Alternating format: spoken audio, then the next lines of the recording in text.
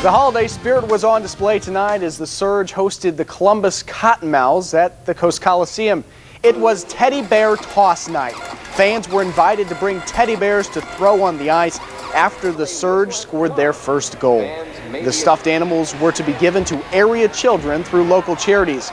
Sean Skelly lit the lamp in less than five minutes and the teddy bears began to fly. An estimated 1,400 stuffed animals were hurled into the Arctic atmosphere where they were collected to be placed into the warm, loving arms of children in need.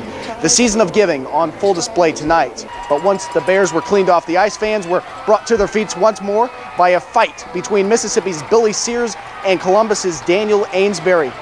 Let them work it out. They're just talking. It's between the two of them. To be honest, the Surge left winger got the worst of this exchange, taking shot after shot to his face. All right, you, you boys done yet? No? Not yet? One more? One more? Trust me, it'll end at some point. Fine, okay, the refs are in there.